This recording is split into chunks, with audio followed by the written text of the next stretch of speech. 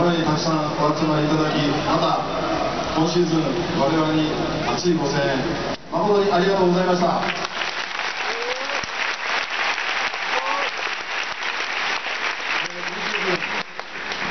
リーグ戦3位ではありましたけれどもファンの皆様方の熱いご声援そしてここにおります全員の力で日本一を勝ち取ることができました。本当に感謝しております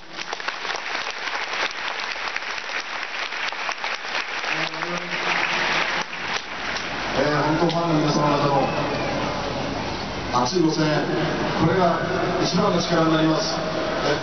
こそはまずリーグ優勝これを達成しまして日本一、えー、またみんなで勝ち取っていきたいとどうか、えー、今年以上のご声援よろしくお願いいたします。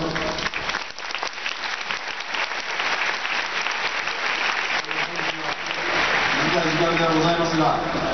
ゆっくり楽しんでいってください。本当に1年間ありがとうございました。